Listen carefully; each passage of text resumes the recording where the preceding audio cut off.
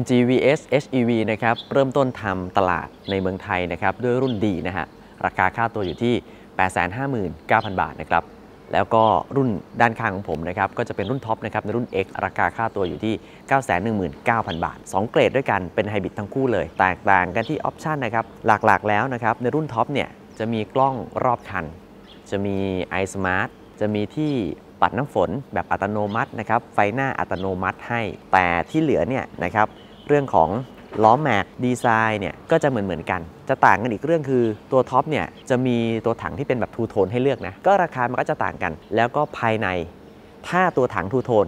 ภายในก็จะเป็นภายใน two-tone ด้วยอ่าแต่ถ้าหากว่าใครนะครับไม่ได้เลือกภายนอก two-tone นะครับแม้ว่าจะเลือกรุ่นท็อปก็ตามเนี่ยภายในเนี่ยก็จะเป็นสีดำแต่มันจะมีเหมือนการตกแต่งนิดๆหน่อยๆที่มาแซมงานนะครับแต่หลักๆก็จะเป็นสีดำล้วน อันนั้นคือรุ่นที่เป็นตัวถังแบบสีล้วนนะครับไม่ใช่สี two-toneส่วนคันนี้นะครับเรานำมาเนี่ยก็จะเป็นสีทูโทนนะครับก็มี หลังคาดำนะครับทำสีจากโรงงานนะครับเป็นหลังคาแบบดำเงาเลย แล้วก็กระจกมองข้างจะเห็นว่าก็จะเป็นสีดำเงาเหมือนกันนะครับมาพร้อมกับไฟเลี้ยวที่กระจกมองข้างนะครับแต่ว่าไม่ได้เป็น LED นะคือในระดับราคานี้เนี่ยคุณได้ขุมพลังที่เป็นไฮบริดใช่ไหมครับแล้วก็อาจจะดูว่าราคาเนี่ยพูดกันตามตรงเลย ไม่ได้ถูกจนแบบว่าน่าสนใจอุ๊ยว้าวนะครับเรื่องของระดับราคานะ เพียงแต่ว่าในรถยนต์ระดับราคาที่ อาจจะสูงกว่านี้นะครับเขาไม่มีของบางอย่างให้ อย่างเช่น iSmart เนี่ยมันเอกสิทธิ์ของ MG ให้อยู่ละอันนี้คือค่ายอื่นก็ไม่มีแต่ค่ายอื่นเขาก็มีอย่างอื่นทดแทนใช่ไหมครับแต่ iSmart มันมีขีดความสามารถในการใช้งานเนี่ยใช่ไหมครับในเรื่องของคำสั่งเสียงอะโอเค อันนี้หลาย ๆ คนก็บอกว่าไม่ได้ใช้อะในเรื่องของฟังก์ชันตรวจนู่นนี่นั่นอะไรอย่างเงี้ยนะครับก็จะเป็นจุดเด่นของเขาแต่จุดที่เป็นจุดเด่นที่มันดูแตกต่างก็คือ ในระดับราคานี้คุณมีกล้องรอบคันแบบชัดๆ ดูมุมต่างๆ ได้ อันนี้เป็นจุดเด่นเลย คือบางค่ายเนี่ยอาจจะให้ฟีเจอร์ระบบความปลอดภัยมามากกว่า พวกระบบควบคุมความเร็วอัตโนมัตินะครับระบบแจ้งเตือนการชนช่วยเบรกฉุกเฉินพวกนี้ใช่ป่ะ แต่ว่าถ้าเป็นของ VS เนี่ยเขาไม่มี ก็จะได้เป็นเพียงแค่พวกระบบพื้นฐานใช่ไหมครับ ทีนี้เรามาไล่เรียนเรื่องของดีไซน์ก่อน ผมเชื่อว่าดีไซน์ก็จะเป็นจุดเด่นจุดหนึ่งนะครับที่ทำให้ VS เนี่ยมันน่าสนใจนะครับ จริง ๆ แล้วพื้นฐานมันก็คือ ZS อะครับ แต่ว่ามีการปรับด้านหน้า คือถ้าในประเทศจีนนะครับ VS ที่เวอร์ชันเมืองจีนเนี่ยเขาจะดีไซน์ด้านท้ายใหม่ด้วย แต่ของเราเนี่ยเอากันตามตรงนะครับ volume เราก็คงจะไม่ได้เยอะแบบบ้านเขา แล้วเขาก็คงมองในเรื่องของ part ต่างๆ ที่มันจะลดต้นทุน อันไหนใช้ร่วมกับ ZS ได้ก็ใช้ร่วมกันไป แต่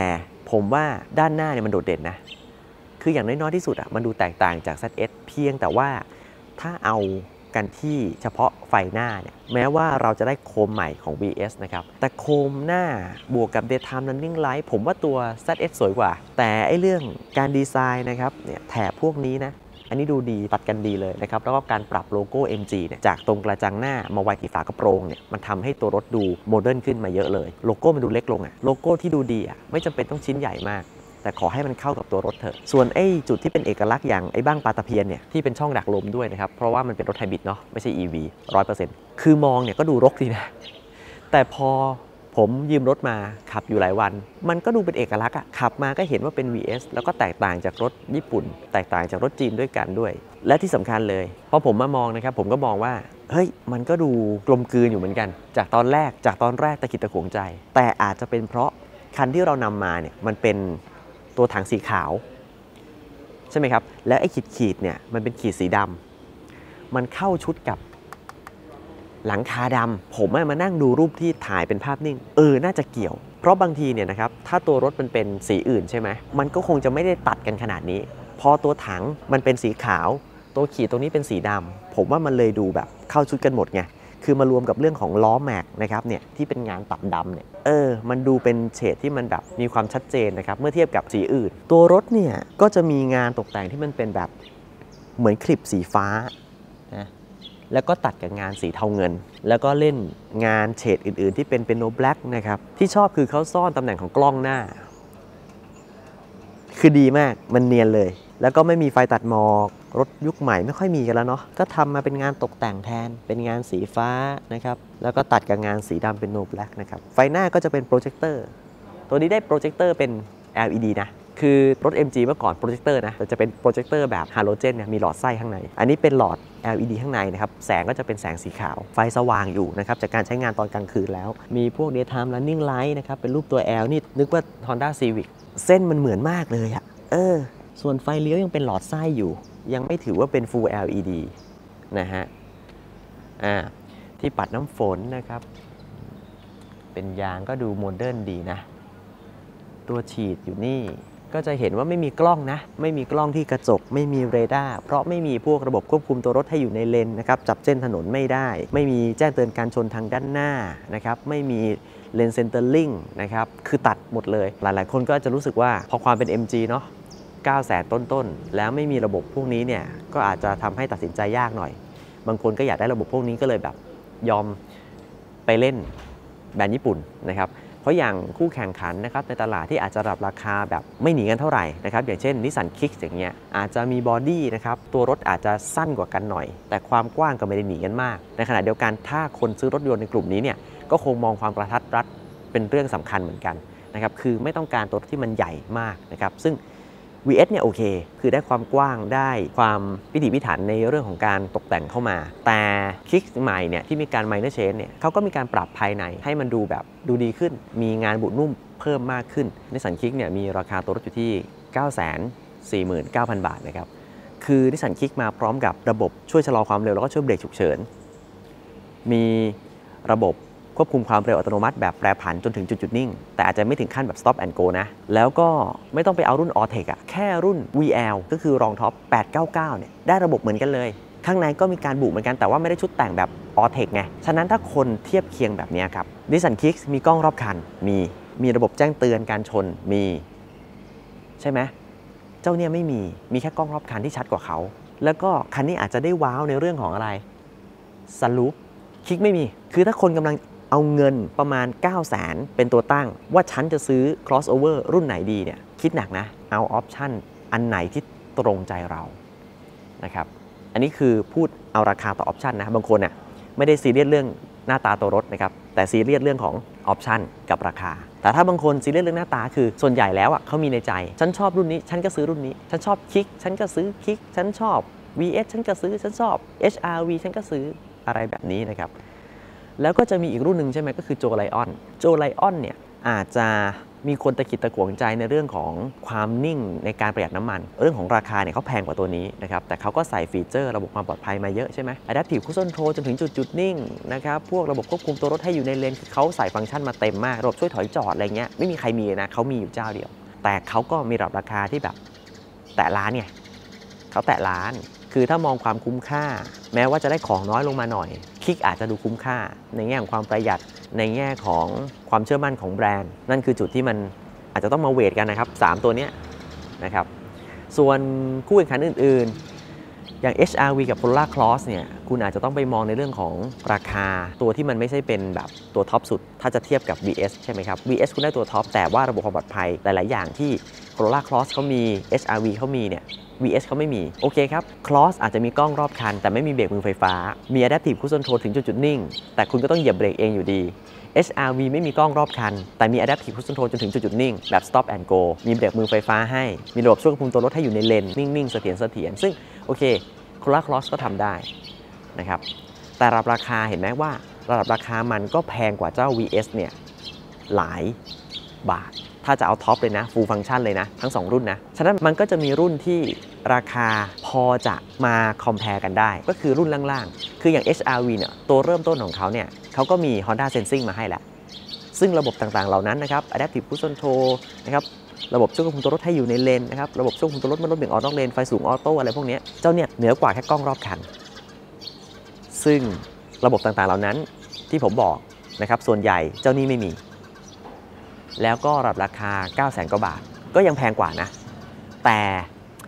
มันก็อาจจะทำให้คนรู้สึกว่าฉันผ่อนต่างกันเดือนหนึ่งไม่กี่บาท แต่ความหรูหราเนี่ยดีไซน์นะเนี่ยหลังคาทูโทนอะไรพวกนี้ก็ HRV ตัวนั้นก็อาจจะดูไม่หรูหราเท่านะ ในแง่ของการตกแต่ง แต่บางคนก็ชอบแบบ HRV กระจังหน้าดำๆนะล้อแม็กทูโทนไปเปลี่ยนล้อกันก็เยอะนะครับ เพราะฉะนั้นก็เลยมองว่าเป็นกลุ่มที่ต้องเอาความชอบเป็นตัวตั้ง แล้วค่อยเอาเงินอะ มาเป็นตัวชี้วัดว่ามันคุ้มค่าต่อราคาต่อออปชันไหม ผมว่ารถกลุ่มนี้มันเป็นแบบนี้นะครับ มันไม่มีการผูกขาดตลาดตายตัวขนาดนั้น ยกเว้นโอเค บางคนต้องการพื้นที่การใช้สอยก็คลอสนะครับ บางคนต้องการขับสีก็จะต้องไป Subaru XV ยังมีพวกแบบชอบการอินทีเลียดีๆนะครับ ภายในดูหรูหรา ก็ยังมี Mazda CX 30นะ หรือ CX 3 ก็ได้อะ CX 3 ก็แต่รถมันเล็กไง ด้านข้างนะครับ คุณก็ ได้ยางเป็น Yokohama Blue Earth นะครับ E 7 0 นะครับ แล้วก็มีตัว cover view เป็นแบบ bi color คือ MG เขาเรียกอย่างนี้ ผมไม่ได้ผมไม่ได้กระแดะหรอก คือ MG อะสื่อสารทางการตลาดแบบนี้นะครับว่า bi color นะครับถ้ายี่ห้ออื่นเขาก็เรียกทูโทนใช่ไหมเป็นสีเงินนะครับ ตัดกับงานสีปัดเงา เขาบอกว่ามันช่วยเรื่องของหลักอากาศพลศาสตร์นะครับ ให้ล้อเนี่ยมันเหมือนกับว่ามีลมผ่านเข้าไปน้อยหน่อยนะครับ ให้มันลู่ลมอะไรทำนองนั้นแหละนะครับ แต่ข้างในมันก็เป็นแม็กนะ ไม่ได้เป็นล้อกระทะ นะครับ แต่เขาก็บอกว่ามันมันไม่หลุดออกมาง่าย ๆนะนะครับ มันมีสลักตัวยึดอยู่นะครับ อันนี้เป็นจุดเติมลม เออ แต่เวลาเติมลมนี่มันต้องกลัวมันจะไปเบียดไอ้ cover view นี่แหละนะครับสายยางนะครับ 215 55 R17 ดูหน้ายางก็รู้ล้ว215 ก็หน้ายางไม่ได้กว้างมาก ก็เน้นเรื่องของความประหยัดด้วยนะครับ ซึ่งจากการใช้งานมา เฮ้ย คือใช้งานในเมืองอาจจะรู้สึกว่ามันอาจจะกินน้ำมัน เพราะว่าไฮบริดของเขาเนี่ยจะเป็นไฮบริดที่เครื่องยนต์เนี่ยทำงานสำคัญ จะคล้ายๆกับ My Hybrid เหมือนกัน แต่เขาก็บอกว่าเขาก็เป็นพาราเรลด้วย คือมันก็ขับตัวรถร่วมกันด้วย เพียงแต่ว่ามอเตอร์เนี่ยเขาเรียก motor booster เขาเอากำลังของมอเตอร์เนี่ยมาแทนการทำงานของเทอร์โบ ถ้าจะเทียบเคียงนะ คือเป็นไฮบริดที่แรงแบบเทอร์โบแล้วกัน แต่ว่าอัตราเร่งการตอบสนองในช่วงต้นจะดีกว่ากันหน่อย เพราะว่ามันไม่ต้องรอจังหวะ คือมันก็แรงจริง อัตราเร่งดีนะครับ เราไป test กันมาแล้วเห็นไหมอัตราเร่งโคตรดีเลยนะ แล้วก็อัตราการบริโภคน้ำมัน ขับใช้งานในเมือง ผมมองว่าอาจจะทำตัวเลขสู้คู่แข่งไม่ได้ อย่างเช่นพวก HRV Corolla Cross นะครับ หรือว่า Nissan Kicks นะครับ แต่ขับใช้งานนอกเมืองไม่ได้แพ้เท่าไหร่ ผมขับมาประมาณ 90ถึง110กิโลเมตรต่อชั่วโมงนะครับเดินทางยาวๆจับอัตราความประหยัดกันมาประมาณ 107 กิโลเมตรเนี่ยได้อัตราความประหยัดอยู่ที่ 19.18 กิโลเมตรต่อลิตร คือตอนแรกที่ผมคาดหวังเนี่ยผมคิดว่ามันไม่จำเป็นต้องทำได้เท่านี้ก็ได้ข้างบนหลังคานะครับก็จะมีรูปเร็วมาให้ทำมาเป็นสีเงินนะครับเสาอากาศชักฟินนะไฟเบรกดวงที่3นะครับไล่ฝ้าที่ปัดน้ำฝนนะครับแล้วก็ตัวฉีดล้างนะครับเขาจะอยู่บริเวณ ตรงนี้ครับเป็นหมุดตัวกลางของที่ปัดน้ำฝนก็ฉีดขึ้นมา แล้วก็ฝาท้ายก็จะเปิดตรงนี้ที่โลโก้นะครับเหมือนกับ ZS นะครับส่วนโคมไฟท้ายเหมือนกับ ZS เลยนะครับก็คือเป็น LED นี่ก็จะแตกต่างไงอย่างที่ผมบอกว่าเมื่อเทียบกับเวอร์ชันเมืองจีนนะครับอักษร Brit Dynamic นะครับอักษร VS HEV นะครับบ่งบอกความเป็นไฮบริดแล้วก็มีคำว่า iSmart ใช่ไหมแล้วก็ตกแต่งด้านหลังก็จะเหมือนกับ ZS เลยนะครับเนี่ย งานตกแต่งต่างๆ ดีไซน์เส้นสายใช่เลย ที่เหลือก็จะเป็นพวกเซ็นเซอร์นะครับ ด้านหลังติดตั้งเซ็นเซอร์มาให้ทั้งหมด 3 ตำแหน่งด้วยกันครับนะ เปิดฝาท้ายครับ นี่ นี่ ก็จะเป็นพื้นที่เก็บสัมภาระด้านท้ายนะครับ ซึ่งก็จะมีไฟสำหรับส่องนะ มีที่เก็บของซ้ายขวาเป็นพลาสติกมานะครับ นี่แหละครับเป็นแบตเตอรี่นะฮะ ก็ตัวนี้มันจะเป็นตัว แบตเตอรี่ cover ก็คือจะเป็นตัวปิดนะครับแบตเตอรี่มันอยู่ด้านในนะฮะและพอแบตเตอรี่นะครับมาอยู่ตรงนี้ไม่ได้อยู่บริเวณเบาะที่นั่งนะครับไม่ได้อยู่ที่ด้านล่างของตัวรถเนี่ยก็จะมาถ่วงน้ำหนักด้านท้าย ก็จะแตกต่างจาก ZS ปกติ ซึ่งเวลาเรามาขับแล้วก็จะรู้สึกว่ารถนิ่งกว่า เวลาเลี้ยวเวลาเข้าโค้งนะครับรู้สึกว่ารถเก็บอาการได้ดีกว่า มันก็ balance ระหว่างน้ำหนักทางด้านหน้าแล้วก็ทางด้านหลังด้วยนะครับมีชุดซ่อมยางมาให้เพราะว่าไม่มียางอะไหล่นะครับ ไม่มีพื้นที่เก็บนั่นเองนี่นะไม่มีเลยปลายท่อไอเสียนะครับอยู่ทางด้านซ้ายนะไม่มีฝาท้ายไฟฟ้าแต่จริงๆ แล้วไปติดเพิ่มเติมได้ จะเห็นว่า ZS เขาก็จะมีใช่ไหมที่เป็นแบบว่าไปซื้อติดตั้งกันเอานะครับหรือว่าบางรุ่นที่เป็นรุ่นพิเศษอย่างเงี้ยของ MG ZS อะเขาจะติดตั้งฝาท้ายไฟฟ้ามาให้ แต่ฝาท้ายของ VS นะครับแล้วก็ประตูทั้ง 4 บานผมว่า มันอาจจะใหม่นะ ต้องออกแรงในการดันเข้าไปปิดเยอะหน่อยนะครับ ไม่งั้นมันจะแบบปิดไม่ค่อยเข้า MG VS นะครับ วันนี้ถือว่าพามาเปลี่ยนบรรยากาศนะครับ คุณผู้ชมก็คือแบบเรามาพูดคุยถึงการขับขี่สมรรถนะนะครับของ MG VS HEV ตอนกลางคืนกันเลยทีเดียวนะครับ ผมจะกระชับกระชับแล้วกันนะครับก็คือหนึ่งเลยนะครับในกลุ่มนี้ตลาดนี้ crossover ไซส์นี้เนี่ยนะครับหรือว่าระดับราคาแบบนี้เนี่ยไม่มีใครนะ แรงเท่าเขา นะครับ คือแบบ0ถึง100เนี่ยมีเลข 8กว่าๆได้นะครับ เราเคยไปจับตัวเลขกันในสนามสปีดเวย์นะ มันแรงจริงๆนะครับ เป็นไฮบริดประเภทที่เขาเรียกว่า motor booster เอาตัวมอเตอร์เนี่ยมาช่วยขับมาช่วยส่งพลัง ช่วยขับตัวล้อให้มันแรงขึ้น ถ้ารถยนต์น้ำมันเขามีแบบมีเทอร์โบใช่ไหมครับ อ่า อันนี้คือแบบเปลี่ยนจาก turbo boost เนี่ยมาเป็น motor boost นี่ motor booster นะ นะครับแล้วแรงจริงแรงแบบไหนนะครับอะสมมติมีคนมานั่งอยู่กับเราแบบนี้นะนะครับแล้วแบบเราขับไปขับ VS ไปนะครับ ไปเรื่อยๆเรียบๆเคียงๆเราแบบกดโหมดสปอร์ตนะรอเลยนะนะครับ เสร็จแล้วเราเหยียบหน้ายกเอาเหมือนกันนะ ดื้อๆนะโอ้โหอ่ามันแรงนะโอ้ยโอ้ยโอ้ยโอ้ย มันแรงเลยนะครับ เท่านั้นไม่พอครับ ต่อให้คุณไม่กดคันเร่งแรงๆนะครับ ต่อให้เป็นคอมฟอร์ตแล้วคุณอาจจะแบบขับรถค่ายอื่นมาก่อน มาลองเจ้า VS ครั้งแรกนะครับเรายังไม่คุ้นกับคันเร่งเนี่ย บอกเลยนะครับ เราจะรู้สึกว่า อุ้ยอุ้ยทำไมกดนิดเดียวมันไปเลยนะครับ นี่ถ้าไปโดนแบบคันเร่งไฟฟ้านี่ โอ้โหตืดตาร์ดกว่านี้เข้าไปอีก คือบอกเลยมันแรงจริงไอ้เรื่องนี้นะ เนี่ย แล้วเสียงเครื่องมันครามเลยนะ โอ้เฮ้ยมันแรงมันแรง มันเป็นไฮบริดที่แบบเน้นแรงอะนะครับไม่ได้เน้นประหยัดอะผมบอกเลย พื้นฐานมันเหมือนเป็นไมล์ไฮบริดเนาะถ้าใครแบบศึกษาเรื่องไฮบริดมานะครับแต่ว่ามันก็มีการทำงานที่เป็นพาราเลลอยู่ รถเนี่ยเน้นเอาไฮบริดเน้นเอามอเตอร์ไฟฟ้าเนี่ยมาช่วยเรื่องสมรรถนะเรื่องอัตราเร่งมากกว่านะครับของเขาเนี่ยถ้าเรามาดูหน้าจอนะครับที่มันแบบเป็นการไหลเวียนของพลังงานเนี่ยเราจะเห็นเลยครับว่า น้อยครั้งมากที่จะเป็นการขับด้วยมอเตอร์ไฟฟ้า pure ๆ คือผมมาดูเนี่ย ดูจากกราฟิกเนี่ย อย่างตอนเนี้ยนะครับ เป็นเครื่องยนต์ทำงานนะเนี่ย เครื่องยนต์ทำงานนะ ถ้าเราถอน ก็พลังงานจนนะครับ ก็รีเจนกลับไปที่แบตเตอรี่อีกนะครับ ไปชาร์จแบตเตอรี่ ถ้าเรากด โอ้โห อันนี้คือมอเตอร์ช่วยละ สีฟ้ามาละ ไหลไปที่ล้อ เนี่ย เนี่ย เนี่ย เนี่ย เนี่ยเนี่ย เนี่ยเฮ้อโหแล้วแป๊บเดียวเป็นไง แป๊บเดียว140ผมถึงบอกไง HRV Corolla Cross นะ คือนี่สันคิกนะ หรือแม้แต่ Mazda CX-30 ที่เป็นเครื่องยนต์น้ำมันสนสุดลิตร ผมบอกเลย ไอ้นี่แรง โจไลออนนี่ สู้ไอ้นี่ไม่ได้ ไอ้นี่แรงกว่านะครับ อ้แรงจริงแรงจริงแรงจริงไอ้เรื่องความแรงนี่จบไปละเอาเป็นนั้นว่าไอ้นี่แรงอ่าทีนี้ช่วงล่างอ่าช่วงล่างเนี่ยบอกเลยเขาไม่นุ่มนวลเมื่อเทียบกับคู่แข่งขันตลาด ใครชอบแบบว่าใช้งานในเมืองเน้น soft ๆหน่อย คนหลังนั่งสบายหน่อย ไม่ใช่ VS นะครับไม่ใช่ VS แน่นอน VS ออกแนวแบบพยายามจูนให้มันเหมือนเหมือนกับพวกรถยุโรปอะครับ เอา feel แบบฝรั่งมาใช้อะกับรถจีนนะ แต่คือแบบอาการแบบนั้นช่วงล่างนะ มันจะมีอาการแบบตึงตึงๆปึกปากปึกปากหน่อย ถามว่ามันถึงขั้นกระด้างไหม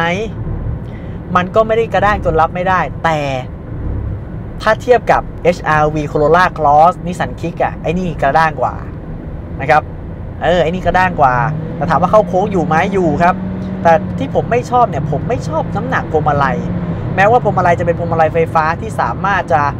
ปรับระดับได้ 3 ระดับด้วยกันนะครับดวงน้ำหนักได้ให้มันแบบหนักขึ้นมาหน่อยนะครับ เป็นสปอร์ตนะครับหรือว่าน้ำหนักแบบมาตรฐานนะครับหรือว่าน้ำหนักเบาก็ตามแต่ แต่ระยะฟรีหรือฟิลลิ่งต่างๆ ผมว่าผมชอบฝั่งพวกแบบของ HRV ของ Corolla Cross มากกว่า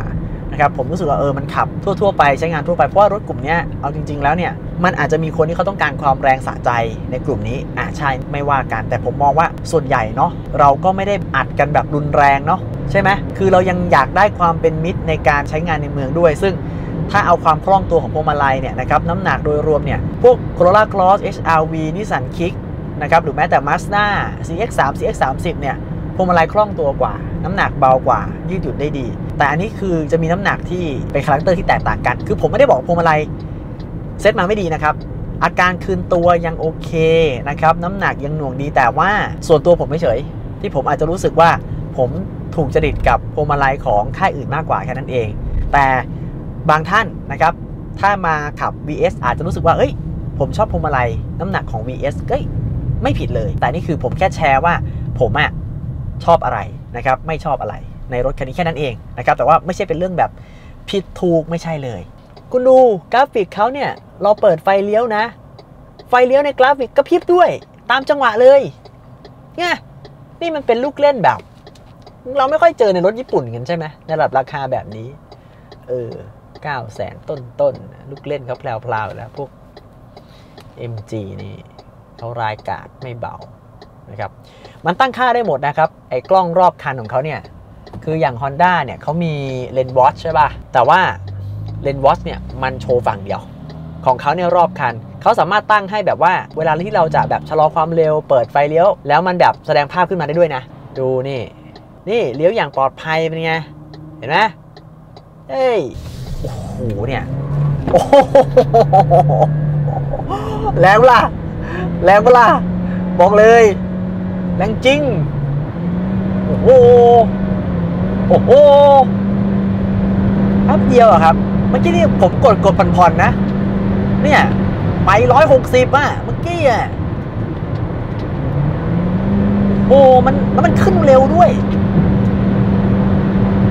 ดูดิเฮ้อเฮ้อโอ้โห โอ้พอพอพอพอพอ เฮ้ยทำไปเล่นไป ปกติอะครับไฮบริดนะ อะ อย่าง HRV เนี่ย ผมเคยไปซัดๆเนี่ย ก็พอหลัง 150 กิโลเมตรต่อชั่วโมงไปแล้วเนี่ย มันจะค่อยๆไต่ มันจะไม่ได้ไต่แบบโอ้มันไปไวขนาดนี้ สังเกตไหมครับ เมื่อกี้ยังไหล 170 ยังไหล ไปต่อ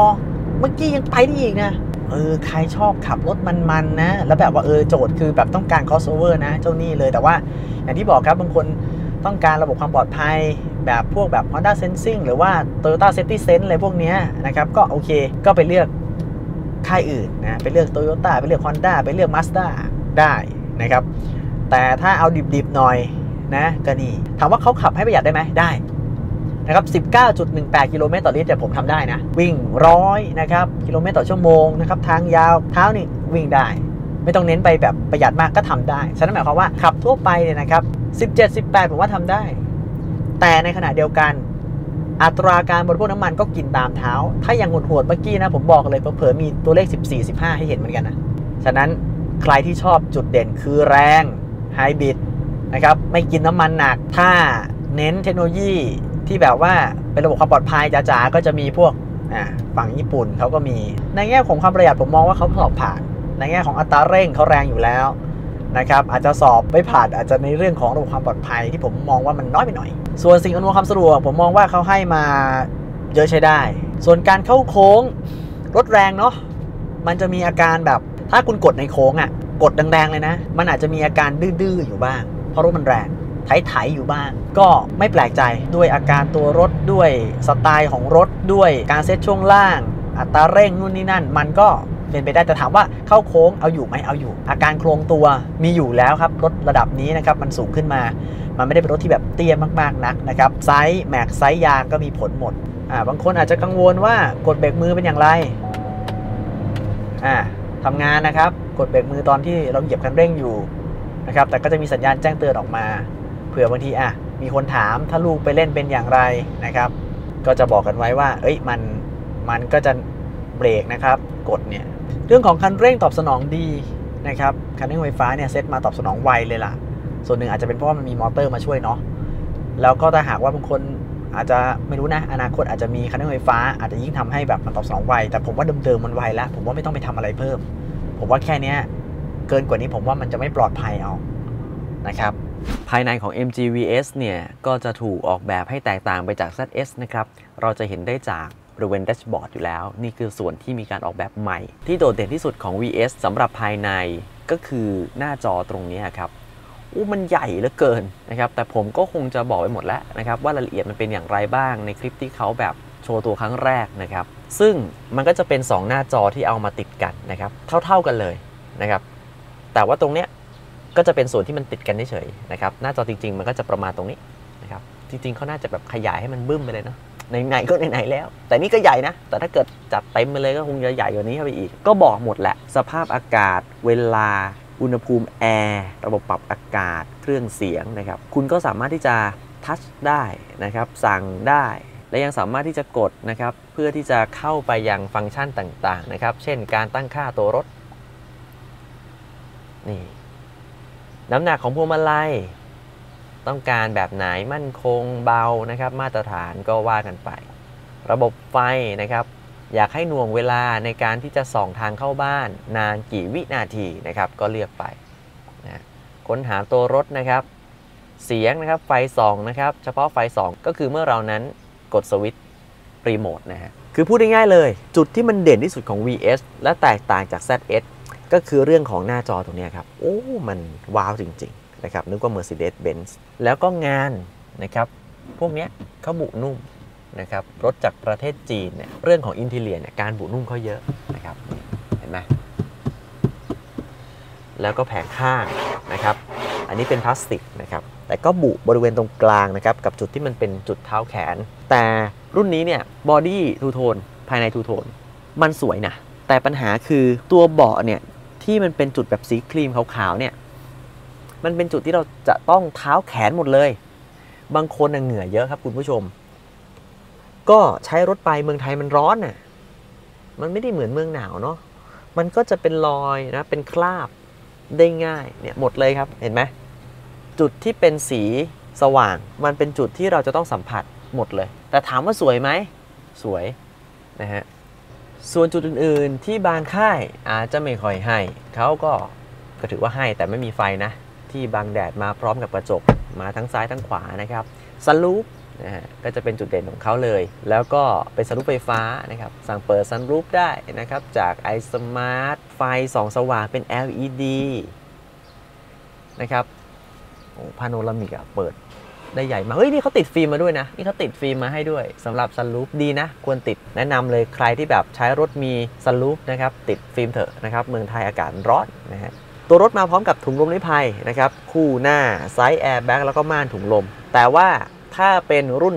D เริ่มต้นจะไม่ได้ม่านถุงลม จะได้แค่คู่หน้าแล้วก็ side airbag เท่านั้น รถมีอะไรมาให้อีกนะครับ ตัวรถเนี่ยมาพร้อมกับ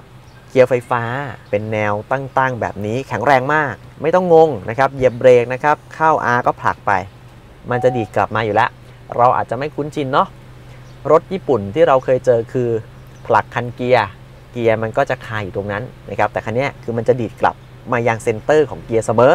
นะครับผลัก D เห็นไหมก็จะเหมือนเหมือนกับพวก v o l v o แต่ให้ดูอะไรให้ดูที่ตำแหน่งบอกเกียร์ครับ ว่าเรานั้นผลักเข้าไปที่เกียร์ไหน ป้องกันการหลงนะครับ กด P จอดครับ กดเอานี่นะครับ ก็ประมาณนี้เองนะครับในเรื่องของการเปลี่ยนเกียร์นะครับ มีเบรกมือไฟฟ้า มีออโต้โฮให้มีปุ่มโหมดการขับขี่นะครับ ก็คือมี Eco มี Comfort แล้วก็มี Sport นั่นเองนะครับ ก็กดเลือก ก็จะมีอักษรบอกนะครับ แล้วก็ยังมีปุ่มดูกล้องนะครับ 360 องศา ยังมีระบบ Hill Descent Control นะครับ ช่วยลงทางลาดชัน มี Curve นะครับ ให้อีก 3 ระดับด้วยกันก็คือ ระบบที่จะregen กลับนะครับ ใช้พลังงานจนนะครับ regen กลับเข้ามาหน่วงกำลังของมอเตอร์ไฟฟ้าให้เราด้วยนะครับ 3 ระดับด้วยกัน แล้วก็จะสามารถทำให้มันชาร์จแบตเตอรี่ได้ไวขึ้นด้วย เป็น engine ของเบรกได้ด้วยนะครับ หรือว่าเป็นการเบรกจากมอเตอร์ เปิดปิดระบบควบคุมตัวรถนะครับ ติดอยู่ตรงที่ว่าแผ่นสวิตช์เนี่ย มันอยู่ในแผ่นเดียวกันหมดกับ Hill Descent Control นะครับ ระบบควบคุมการทรงตัวต่างๆ เนี่ย พอคุณจะกดKERS แล้วคุณไม่ต้องการจะมองเนี่ย บางทีมันกดผิด ไปกดปิดระบบควบคุมเสถียรภาพของตัวรถ ซะงั้น เนี่ยเห็นไหมแล้วก็มีช่องวางแก้วนะครับ ใส่ได้ 2 ตำแหน่งแต่ เยติเนี่ยเลิกพูด แม้แต่แก้วกาแฟปกติเนี่ย คือยังชนกันเลยอะ อันนี้คือไม่ work ไม่ work ใส่ได้ครับแก้วเล็กๆได้ไม่ work นะ แต่ถ้าหากว่าขับคนเดียวก็โอเคอยู่นะครับมีกล่องเก็บของให้ ตรงนี้มีไวเลสชาร์จ ตำแหน่งของไวเลสชาร์จเนี่ยดีมากเลย ผมมาวางมือถือนะ แล้วแบบไม่ได้เชื่อมต่อกับตัวรถ ไม่ได้เชื่อมต่อ Apple CarPlay นะ วางไว้เปิดลำโพง ขับรถไปอะ ได้ยินเลย ทั้งเสียงที่เราฟังแล้วก็เสียงของเรานะครับที่พูดไปกับรถคันอื่น ก็คืออทีมงานผมเนี่ยขับรถอีกคันหนึ่งนะครับเขาก็ต่อ Apple CarPlay ปกตินะครับเราเนี่ยพูดแบบเนี้ยเสียงชัดเจนนะครับเพราะอะไรรู้ไหมครับ VS เนี่ยไม่น่าเชื่อ เก็บเสียงดี เก็บเสียงดี ผมว่าเงียบกว่า Honda นะ ทั้งเสียงยาง เสียงลม คือเก็บเสียงดี ฟังเพลงก็มิติเสียงก็ดีตามไปด้วย เพราะว่าพอมันเงียบอะเฮ้ย อันนี้แบบ ผมรู้สึกว่าทำไปทำมาอาจจะเงียบกว่า ZS ซะด้วยนะ เนี่ยเสียงฝนปลอยๆเนี่ย แล้วก็เสียงที่ดังที่สุดเนี่ย ถ้าเราขับแบบความเร็วไม่สูงมากสัก 70 กิโลเมตรต่อชั่วโมงเนี่ยนะครับ ก็คือจะเป็นเสียงสะท้อนจากเสียงของยาง แต่ถ้าเกิดเราเร่งเครื่อง ความเร็วขึ้นมาหน่อย เสียงเครื่องจะคลางเข้ามา นะครับเติมกำลังให้เราเสียงเครื่องนี่จะดังที่สุด แต่ลองเหยียบดูเลยครับ เสียงลมน้อยมากเลยนะ นี่ความเร็ว110เสียงลมน้อยเลย น้อยมากแบบถ้าไม่ได้ยินเลยที่ได้ยินจัดๆเนี่ยคือเสียงที่สะท้อนจากยางแล้วก็เสียงของเครื่อง ภาพรวมผมยังมองว่าเขาเก็บเสียงได้ดีกว่า HRV นะเขาเก็บเสียงได้ ผมว่าดีกว่าคิกนะ เออ เปิดเพลงฟังก็ยังเพราะอะผมบอกเลย คุยกันยังได้ยินชัดเจนไม่ต้องไปตะเบงแข่งกัน พอไวเลสชาร์จมันไม่ได้อยู่ในจุดที่มันต้องสอดเข้าไปอยู่ต่ำคือรถบางรุ่นนะ หรือบางคันก็ตาม มีระบบเชื่อมต่อไร้สาย มีระบบ Apple CarPlay แต่รถบางคันนะครับ มันเออบางทีเราต้องการคุยไปขับไปอะแต่เราไม่ต้องการหยิบมือถือไง แล้วบางทีแบบโอ้จะต่อก็ยุ่งยากจะรีบไปด้วยอะวางคุยไว้ก่อนเว้ยอันเนี้ยโอเค จะออกไปรีบทำธุระอุ้ย ธุระโทรมาอีก ต้องคุยกันอีกหลายที่นะครับอุ้ยแหมต่อไม่ทันเว้ยวางอะเอ้ยบางคนบอกว่าเดี๋ยวนี้ไงคุณเปิดบลูทูธไงก็บางทีก็ไม่ได้เปิดไง หรือบางทีแบบเปลี่ยนมือถืออะไม่ทันอะรีบ เออ เห็นแบบนี้มีประโยชน์นะ แล้ว VS เนี่ยนะครับก็ยังมีพวกทัชบาร์นะครับแตะเห็นไหมปรับอากาศไล่ฝ้าต่างๆ ตรงนี้ได้ ไอ้ก็ดูมีลูกเล่นดี แล้วก็ยังมีช่อง วางของนะครับ เห็นไหมคุณยังเอาโทรศัพท์ไปวางด้านใต้ได้ มี USB มาให้ทั้ง Type C Type A นะมี power outlet ให้อีกหนึ่งตำแหน่ง คือจะวางข้างล่างก็ได้ จะวางข้างบนก็ได้ ข้างบนก็จะเป็น wireless charge นะคือเท่ากับว่ามันมีช่องวาง 2ตำแหน่งไง สมมุติง่าย ๆ เลยครับ ผู้โดยสารฝั่งซ้ายอยากที่จะเสียบชาร์จเขาก็เสียบกับสายได้ เพราะเขาต้องเล่นใช่ไหมครับ เล่นมือถือเราเนี่ยไม่ต้องเล่นเราวางได้ ใช่ไหมเราวางก็ชาร์จละส่วนถ้ามีโทรศัพท์อีกเครื่องหนึงก็ยังเสียบชาร์จได้อีก เท่ากับว่าแค่ด้านหน้าเนี่ยชาร์จได้ 3 เครื่องเข้าไปแล้ว นี่ถ้าบวก power outlet เข้าไปอีก โอ้โห เป็นยังไง นี่ยังไม่พอ นี่มี USB ตรงนี้อีก นี่เหมือนฟอร์ดเลยเผื่อไปเสียบกล้องบันทึกภาพทางด้านหน้าก็เสียบชาร์จก็ได้นะ ไหนลองชาร์จซะหน่อยหัวเป็นไง โอ้โห จะห้อยสายชาร์จ นี่เหมาะเลย เหมาะกับใคร ผมไม่รู้ว่าคุณผู้ชมส่วนใหญ่นะครับ ทราบไหมว่า มันจะมีบางอาชีพที่เขาจะต้องขับรถแบบ drive test นะครับ เช่นพวกเช็คสัญญาณมือถือนะครับสัญญาณ 3G 4G อะไรพวกเนี้ยนะครับเขาจะต้องแบบมีการติดมือถือรับสัญญาณนะครับ มีชุดคอมพิวเตอร์ เฮ้ย มีตรงนี้ปุ๊บติดนี่ เหมาะเลย ไม่ต้องกลัวแบตหมด ใช่ไหม อ่าเออเออเออแล้วก็ติดกล้องมองภาพได้นะครับ เท่ากับว่าแค่ด้านหน้าเนี่ยโอ้โห ช่องจ่ายไฟเพียบ กระจกมองหลังนะครับ ออกแบบมาดี แต่ก็ยังไม่ได้เป็นแบบตัดแสงออโต้นะครับ แล้วก็พวงมาลัยเป็นพวงมาลัยมัลติฟังก์ชันนะฮะ ปรับระดับได้ 2 ทิศทางด้วยกันนะครับ ไม่ใช่ 4 นะ 2 เท่านั้น อันนี้ก็อยากให้เปลี่ยนเป็น 4 ได้ละตำแหน่งของระบบควบคุมความเร็วอัตโนมัตินะครับไม่ได้แปรผันเป็นก้านนะครับก็ใช้งานไม่ยากครับ ถ้าผลักออกจะเป็น speed limit นะครับสามารถเซตค่า speed limit ได้นี่เห็นไหมเลื่อนเท่าไหร่อะไม่เกิน 80 นะครับ ก็กดวิ่งไปมันก็จะแจ้งเตือนด้วยนะครับ speed limit ถ้าผลักเข้าหาตัวก็จะเป็น ระบบควบคุมความเร็วอัตโนมัตินะครับแต่ไม่แปรผันนะ มาดูฟังก์ชันของหน้าจอแสดงข้อมูลการขับขี่นะครับก็จะเห็นว่าเป็นกราฟิกเนาะที่ดูแบบเออก็แปลกตาดี แล้วก็ดูในเรื่องของการไหลเวียนพลังงานนะครับว่าตัวรถนั้นใช้พลังงานจากอะไรนะครับขับเคลื่อนจากอะไรบ้างเนี่ยมีกราฟิกบอกเลยเครื่องยนต์มอเตอร์แบตเตอรี่นะครับตอนเนี้ยรถก็ไม่ได้เคลื่อนตัวนะครับจะเห็นว่าเขาก็ไม่ได้บอกนะครับ ว่าตอนนี้ก็ทำอะไรอยู่เห็นไหมก็สามารถจะเลื่อนมาดูได้ นะครับเลื่อนลงครับกดที่พวงมาลัยนี่ฮะดูระยะทางนะครับอัตราเฉลี่ยนะครับค่าเฉลี่ยความประหยัดนะครับสามารถเลื่อนดูได้ มีเรื่องของระบบ Audio นะครับคุณฟังเพลงจากอะไรอยู่ ตรวจวัดแรงดันลมยางนะครับ อันนี้มีให้เฉพาะรุ่น X เท่านั้นรุ่นดีไม่ได้ อันนี้ก็จะเป็นพวก Fuel Consumption นะครับก็คืออัตราความประหยัด Average ต่างๆนะครับขึ้นเป็นกราฟให้เรา อันนี้ก็จะเป็น Power Meter ครับจะบอกว่าเวลาที่เรานั้นเหยียบคันเร่งเนี่ยตัวรถเนี่ย ใช้กำลังไฟไปเท่าไหร่นะครับก็จะบอกหน่วยเป็นกิโลวัตต์ตำแหน่งทางด้านล่างนะครับก็จะบอกในเรื่องของปริมาณน้ำมันภายในถังนะครับตัวรถมีความจุของถังน้ำมันอยู่ที่ 48 ลิตร แล้วก็มีอุณหภูมินะฮะอันนี้ก็จะเป็นวัดรอบนะครับเป็นดิจิตอลตรงนี้จะเป็นบอกตำแหน่งของระดับเคิร์ดระดับการหน่วงของการทำงานในการขับขี่นะครับอันนี้ก็จะเป็นตำแหน่งตัวเลขบอกความเร็วครับที่เหลือจะเป็นนาฬิกาแล้วก็โหมดการขับขี่ ถ้าคุณอยากที่จะ เข้าไปเซตทริปนะครับ กดที่ตำแหน่งโอเคค้างไว้ครับปึ๊บเซตเป็นศูนย์ละนะฮะอ่า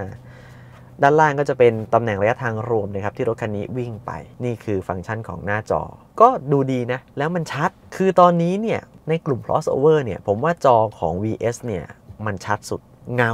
คมนะฮะไอ BYD ที่เป็นรถยนต์ไฟฟ้าตัว Atto 3อะยังไม่ชัดเท่านี้เลยนะ เรื่องจอนะ อันนี้คือคือทำจอดีแต่ก็นั่นแหละ จอมันว้าวสุดแต่ว่าระบบก็ยังไม่ได้ครบครันขนาดนั้น แถงข้างประตูเท้าแขนได้จริง เบาะนั่งปรับไฟฟ้า 6 ทิศทางนะครับ เฉพาะฝั่งผู้ขับเท่านั้นนะครับ แต่ถ้าเป็นรุ่น D นะครับ รุ่น D เนี่ยปรับมือทั้งสองฝั่งเลยนะครับ ไม่ได้บอกปรับไฟฟ้า แล้วก็มีปุ่มล็อกปลดล็อกประตูนะครับ อยู่ตำแหน่งตรงนี้ นี่แล้วก็จะเห็นดีเทลการตกแต่งด้วยงานที่เป็นวัสดุสีฟ้าฟ้าๆนะครับตามช่องแอร์ตามจุดต่างๆนะครับพื้นที่นั่งตอนหลังเนี่ยก็จะเหมือนกับใน ZS เลยนะครับตัวรถมาพร้อมกับแอร์ตอนหลัง แล้วก็ USB ทางด้านหลังให้อีกหนึ่งตำแหน่ง เท่ากับว่ารถคันนี้มี USB ทั้งหมด 4ตำแหน่งด้วยกัน ก็ถือว่าเยอะนะ แต่ว่าด้านหลังให้เพียงแค่ 1ตำแหน่งเท่านั้น ไม่มีที่เท้าแขน ซึ่งอยากให้มี แล้วก็ตัวเบาะเนี่ยไม่สามารถพับแยกได้นะ คือ VS เนี่ยจะไม่ได้โดดเด่นในเรื่องของการ พับเบาะนะครับจะไม่เหมือนอย่างเช่น HRV เขาจะสามารถพับเบาะได้หลากหลาย อันนั้นคือเขาอเนกประสงค์ในเรื่องของการพับเบาะอยู่แล้ว แต่ VS ไม่ใช่ แต่ VS ก็ไม่ใช่รถที่นั่งแย่ พื้นที่พนักพิงเอนเอนใช้ได้เลยอะ่ะก็ก็ไม่ได้เอนจนแบบเยอะมาก แต่ก็ไม่ได้ชันจนรับไม่ได้นะครับมีหมอนรองศีรษะมาให้ 3ตำแหน่ง เพียงแต่ว่ามันไม่มีที่เท้าแขนไง อยากได้อะ